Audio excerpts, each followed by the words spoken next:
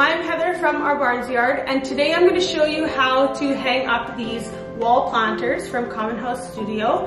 Um, they're super easy to hang up, only require a few simple tools and you will have plants on your walls in no time.